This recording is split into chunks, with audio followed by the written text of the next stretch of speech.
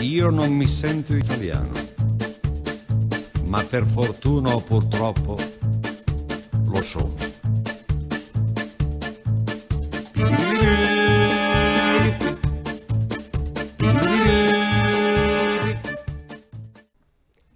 Forza viva nel bagno di casa perché non voleva prostituirsi. Era il 1981. Palmina Martinelli aveva solo 14 anni. A distanza di 35 anni la Procura di Bari riapre le indagini su una delle pagine più tristi della cronaca nera. Un caso irrisolto, o meglio risolto da varie sentenze, con due assoluzioni e una sentenza definitiva. Fu suicidio ma che la morte di Palmina non fosse suicidio riuscì a dirlo lei stessa poco prima di morire, facendo il nome dei suoi aguzzini al pubblico ministero. Lo disse davanti ad un registratore e la sua voce registrata e risuonata nelle aule del processo. Un nuovo tassello nella vicenda processuale sul delitto di Palmina Martinelli era già stato posto nel 2012 dalla Procura di Brindisi, che aveva avviato nuove indagini e tre anni dopo, nel 2015, aveva concluso che fosse ragionevole ritenere che la quattordicenne brindisina, arsa viva nel 1981 a Fasano, fosse stata uccisa e non si fosse suicidata. Ora è la Corte di Cassazione a riaprire uno spiraglio, accogliendo una questione di competenza territoriale sollevata da Stefano Chiriatti, avvocato che assiste Giacomina, sorella di Palmina. I giudici della Suprema Corte hanno annullato senza rinvio il decreto di archiviazione del Tribunale di Brindisi e trasmesso gli atti ai PM di Bari invitandoli a scavare. Secondo il vecchio codice penale, in vigore fino al 1989, la competenza veniva stabilita sulla base del luogo della morte, Bari, e non del posto in cui era stato compiuto il reato, Fasano.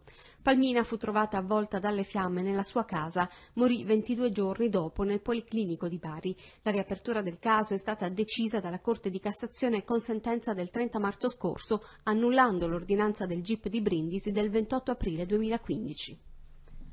Palmina Martinelli aveva solo 14 anni quando fu arsa viva perché rifiutò di prostituirsi. L'agghiacciante vicenda, tornata alla ribalta delle cronache in questi giorni grazie ad una trasmissione RAI, avvenne a Fasano il 12 novembre del 1981. La giovane Palmina fu trovata esanime in casa sua, con il 70% del corpo distrutto dalle ustioni. Nonostante il trasporto presso il centro grandi ustionati del Policlinico di Bari, morì dopo 22 giorni di agonia, tre dei quali in coma. Gli inquirenti fin da subito addossarono le colpe dell'omicidio a due giovani di Loco Rotondo, Enrico Bernardi e il suo fratellastro Giovanni Costantino, ma la Cassazione archiviò il caso come suicidio Palmina, agonizzante nel suo letto in ospedale, riuscì a rispondere alle domande del pubblico ministero di allora, Nicola Magrone, con l'aiuto del professor Fiore. La registrazione audio dell'epoca è stata trasmessa in tv mercoledì scorso. Sul nastro è chiaramente udibile il respiro della giovane Palmina, che con un fil di voce riesce a fare i nomi di Enrico e Giovanni e rispondendo alla domanda cosa ti hanno fatto, replicherà alcol e fiammifero. La famiglia di Palmina e l'intera comunità di Fasano ancora chiedono giustizia per l'assurda morte della quattordicenne. A tal proposito, grazie ad una petizione popolare, il prossimo lunedì a Fasano verrà intitolato Largo Palmina Martinelli, vittima della violenza e del degrado sociale.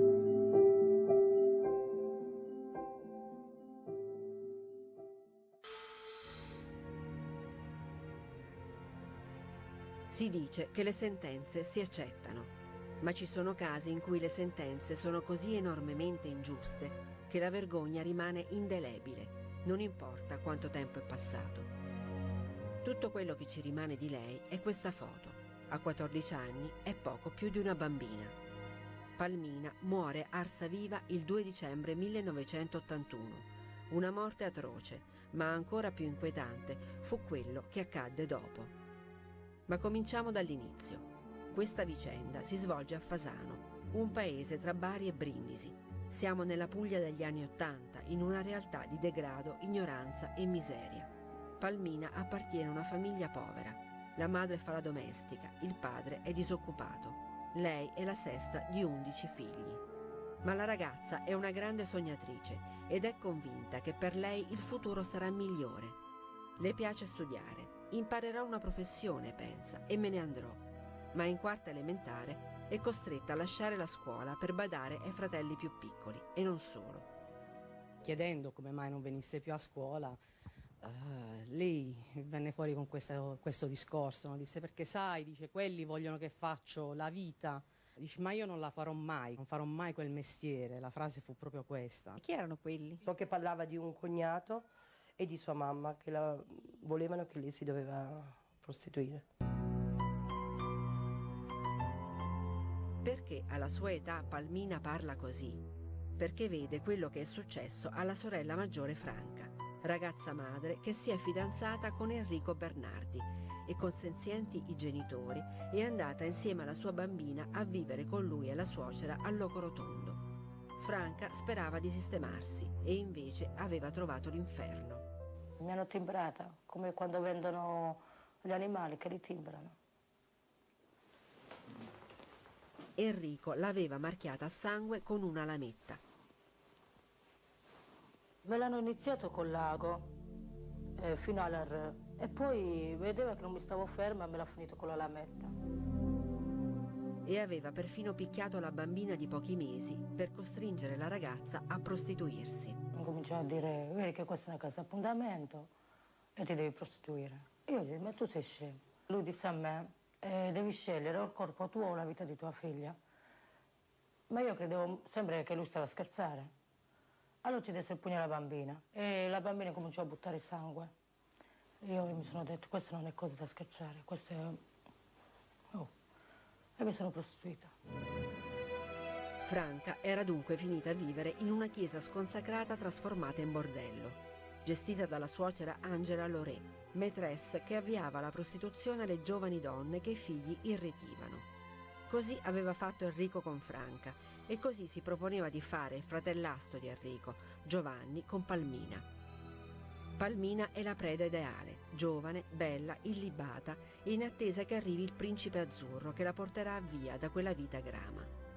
Giovanni Costantini, 19 anni, non fatica a farla innamorare con promesse di matrimonio e quando lui parte per Mestre per il servizio militare Palmina gli scrive lettere appassionate, sognando di andare a vivere con lui al nord. La ragazzina non sa che lei in questa storia è solo una preda e che la rete le si sta stringendo intorno. A novembre dell'81 Palmina, che è anche molto religiosa, si prepara a fare la cresima. Il giorno 11 alle 14.30 esce per andare a catechismo ma sulle scale della chiesa incontra Bruno, un coetaneo che va dicendo in giro che la ragazza si è concessa a lui e ad altri. Palmina, ferita da queste dicerie, si difende con decisione. Mentre i due discutono, alle 15.30 Palmina viene raggiunta dal padre e dal cognato. I due uomini non le credono, la schiaffeggiano davanti a tutti, la fanno salire in macchina e la riportano a casa, intimandole di non uscire. Sono le 16 quando Palmina rimane a casa da sola. A questo punto sappiamo che ha indossato l'abito buono e ha messo una collanina al collo. Cosa aveva intenzione di fare? Aspettava qualcuno? Dopo appena 25 minuti, Antonio, il fratello di Palmina, rientra a casa e subito sente odore di bruciato e dei flebili lamenti provenienti dal bagno. Al momento dell'aprire la porta, il fumo che ti esce, mi vedo Palmina ancora con le fiamme addosso. Palmina, ridotta a torcia umana, è nella doccia in cerca dell'acqua, ma quel giorno a Fasano l'acqua manca. A quel momento l'unica cosa che mi disse era quella che non ce la faceva più e poi quella che disse eh, voleva morire forse perché soffriva troppo e, e poi mi disse che era stato Gianni ed Enrico. Palmina dice anche al fratello che i due le hanno fatto scrivere una lettera, che Antonio poi ritrova in cucina. Sono le 16.55 quando Antonio porta Palmina al pronto soccorso di Fasano. Io facevo il chirurgo e quel giorno ero di guardia giù al pronto soccorso, per cui fui quello che prestò il primo soccorso a Palmina Martinelli. Aveva ustioni di secondo e terzo grado avanzato che ricoprivano più del 70% della superficie corporea. Mm, la ragazza era perfettamente lucida in quel momento, raccontava quello che era successo, che diceva che le avevano dato fuoco, diceva anche dei nomi, probabilmente i nomi che mi ha detto lei, Giovanni ed Enrico. Un dato certo lo avevamo, le dichiarazioni di colei che aveva subito il reato, quindi per noi era un dato certo. Tant'è vero che poi è scattato l'arresto nell'immediatezza. la sera del giorno successivo eh, Abbiamo arrestati quattro persone su ordini di cattura. Vengono arrestati Giovanni Costantini, Enrico Bernardi e altri due ragazzi, poi rilasciati, che dichiarano di essere stati in loro compagnia quel giorno. Il 20 novembre il pubblico ministero Nicola Magrone incontra Palmina agonizzante nel reparto Grandi Ustioni di Bari. Il primo contatto tra me e Palmina fu, tra me, non da solo ovviamente, con, con gli altri, fu spaventoso, eh, perché non, non, non, mi trovai di fronte ad una figura definibile eh, come persona. Era un, un tronchetto, era una, annerito, il viso lo vedevo appena, gli occhi li vedevo appena, era una, una cosa terribile, era intubata. Il professor Fiore eh, sospendemmo, poi riprendemmo, eh, ci, ci, disse che si sarebbe potuto estubare eh, la bambina eh, in modo che potesse dare lei proprio con la sua voce delle risposte. E così fu, nel senso che eh, tolta la, il tubo che la aiutava a respirare, eh, riuscimmo a fare quel verbale, che è quel testo che dice io ero nervosa per gli affari miei, suonano la porta, vado ad aprire. Entrano Giovanni e Enrico, chiudono la porta e mi fanno scrivere che mi ero litigata con mia cognata.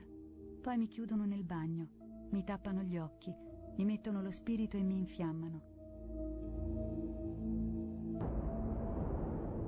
Enrico si è portato mia sorella con lui. La madre fa la vita a Martina, mi voleva portare lì. Io non ci volevo andare. Mi ha detto tu morirai con le mie mani. Ho detto io ammazzami, ma io con te non ci vengo. Ora mi hanno fatto questo sfregio. Se guarisco mi ammazzeranno. Vorrei soltanto morire nelle braccia di Cristo. Mi chiesi, eh, a chi la, la, porto questo verbale? Chi ci crederà? Io stesso, fra un mese, dirò, ma, ma, ma ha detto veramente queste cose? Torna indietro. E dissi io da qua non me ne vado se non ho la traccia una, della effettività della voce di Palmina che in effetti ha detto questo. Un'ora dopo aver trascritto quel verbale, il pubblico ministero Magrone registra la voce di Palmina che accusa i suoi aggressori. Quella terribile testimonianza che ancora oggi possiamo ascoltare. C'è un registratore.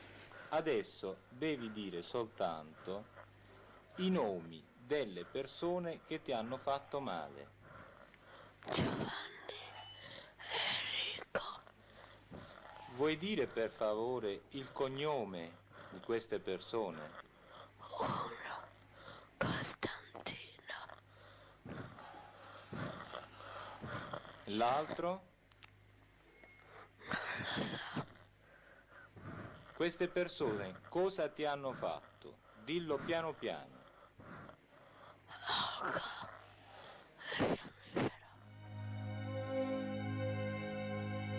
Il 2 dicembre, dopo 22 giorni di agonia, Palmina Martinelli muore. Il suo funerale suscita un'ondata di commozione in tutto il paese.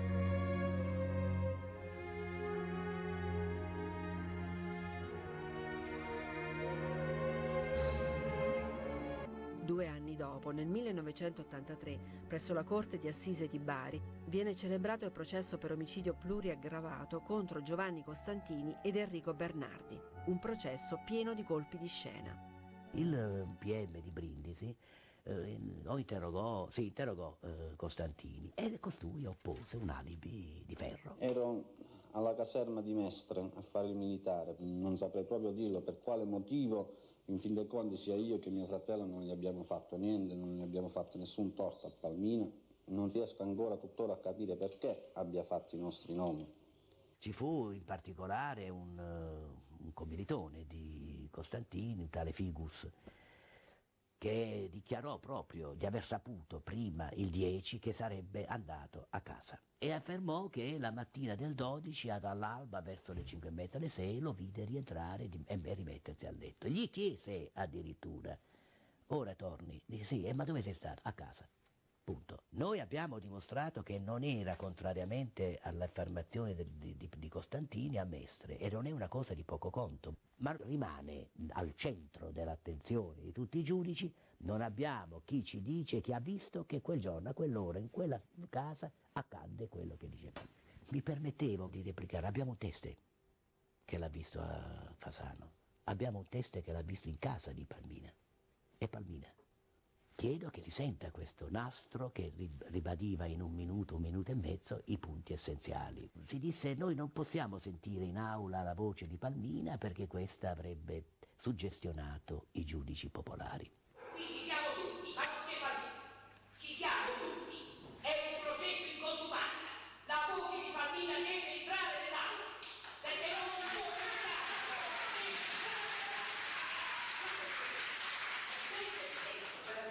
Mi dispiace così. Non voglio suggestionare nessuno. Pretendo che Palmina entri nell'aula.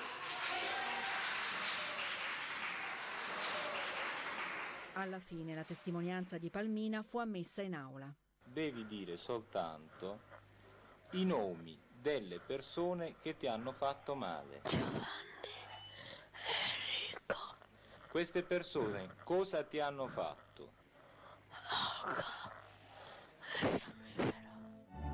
La registrazione fu messa agli atti, eppure quella testimonianza resa in punto di morte non fu sufficiente a dimostrare che Giovanni ed Enrico avevano commesso quel delitto. E mi permisi di dire che se si fosse trattata della figlia di un giudice, i giudici le avrebbero creduto. Il 22 dicembre 1983 la Corte d'Assise di Bari emette la sentenza di primo grado. Letto l'articolo 479 del Codice di procedura penale, assolve Bernardo Enrico Costantini Giovanni del reato su PA per insufficienza di prove. Giovanni Costantini ed Enrico Bernardi vengono solo condannati a 5 anni per sfruttamento e induzione alla prostituzione, mentre sono assolti per insufficienza di prove per l'omicidio di Palmina, che quindi, secondo la Corte, si sarebbe suicidata.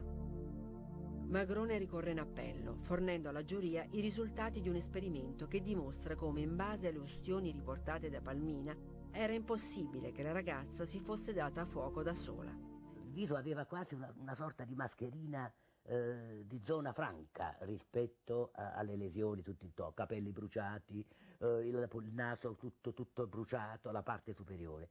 Perché? Perché erano coperti dai, dal, dalle due mani, specialmente la mano destra. Addirittura le sopracciglia. Le sopracciglia intatte. Non era possibile che la mano potesse aver percorso quel tratto tanto velocemente da precedere la fiammata e quindi proteggere. Significa che quando è stato dato fuoco le mani erano già sugli occhi a protezione, come, perché si era resa conto di quello che stava accadendo e istintivamente si era protetta. Solo così ha potuto precedere, perché se l'avesse fatto da sola non avrebbe potuto far precedere la mano rispetto alla fiammata. Nell'87 il processo si riapre. Il Tribunale 8 marzo, un gruppo di donne avvocato, prende a cuore il caso di Palmina e si costituisce parte civile. C'era questo fatto veramente inquietante per il quale la ragazza aveva lasciato un biglietto. Un biglietto che è stato interpretato come un proposito di suicidio. Invece era un biglietto, noi del Tribunale 8 marzo l'abbiamo letto come un biglietto di protesta. Mamma, tu mi capisci? Io lo scrupolo non me lo mantengo. Papà mi chiude, Cesare mi stroppia. Tu chi sei? Che fai? Io vi dico una cosa, mi sono stufata. Addio per sempre. Noi l'abbiamo interpretata come un me ne vado, però no, la lettera porta a Dio per sempre. E noi abbiamo ritenuto che le parole er sempre fossero state aggiunte dai, dalle persone che l'avevano aggredita e abbiamo richiesto una perizia grafica che ha confermato la provenienza di queste lettere dalla grafia di uno degli imputati. Quindi questa secondo noi era la firma dell'assassino. Quindi, secondo la difesa, Palmina, stanca di come veniva trattata in famiglia, si sarebbe suicidata lasciando una lettera di commiato alla madre che si conclude con addio per sempre. Secondo l'accusa, invece, quella lettera si conclude con addio P puntato, come era solita firmarsi Palmina. E le lettere Er sempre sarebbero state aggiunte dopo dagli aggressori. A dispetto di tanti sforzi, ancora una volta prevale la tesi della difesa. Il 27 ottobre 1987 la sentenza di assoluzione viene confermata in appello. L'anno dopo, in Cassazione, i due imputati sono addirittura assolti con formula piena, perché dall'insufficienza di prove si passa all'insussistenza dei fatti. Dunque Palmina si sarebbe incendiata da sola e avrebbe calunniato Costantini e Bernardi in punto di morte. Palmina è la vittima, Palmina è quella che è morta tra le fiamme, quindi ed è stata destinata ad una tumulazione come si fa per le streghe. Oltre ai numerosi elementi portati dall'accusa che non sono serviti a convincere la giuria, ce n'è un altro che in quell'aula non è mai entrato e che forse se lo avesse fatto avrebbe potuto cambiare le sorti di quel processo. È una testimonianza che noi di chi l'ha visto dopo tanti anni abbiamo trovato. Maria è un'ex compagna di scuola di Palmina, che quando seppe quello che era accaduto alla sua amica ne rimase talmente sconvolta che il padre la portò con sé in Germania, dove è rimasta per vent'anni. Ebbene, Maria l'11 novembre dell'81 aveva appuntamento con Palmina. Le due ragazzine dovevano scappare insieme. Dovevamo dire che era il suo compleanno, che io ero stata invitata a casa sua per il suo compleanno e poi scappare. Dovevamo scappare. Io perché volevo scappare dall'istituto e lei perché voleva scappare da casa sua. Quindi lei aveva pianificato Sì. che il giorno della disgrazia sarebbe dovuta andare via di casa. Sì. L'idea era la sua di scappare, però a me piaceva pure perché anche io volevo scappare dall'istituto. Quindi Palmina quel giorno voleva scappare e certo non suicidarsi. Ma se chi aveva progettato di avviarla alla prostituzione avesse scoperto questo, avrebbe senz'altro cercato di impedirglielo. Sarebbe andato a prenderla prima della fuga e a quel punto Palmina si sarebbe opposta con tutte le sue forze a quel destino e avrebbe provocato l'ira dei suoi rapitori, firmando così la sua condanna a morte. Palmina, prima di morire, dice chiaramente i nomi di chi le ha dato fuoco. Per tre volte la corte di un tribunale non le crede e quindi, secondo il nostro sistema giudiziario, Bernardi e Costantini, dopo l'assoluzione definitiva, non possono più essere accusati di questo delitto, perché di delitto si tratta, che almeno si riconosca questo. Palmina non si è uccisa, Palmina è stata uccisa.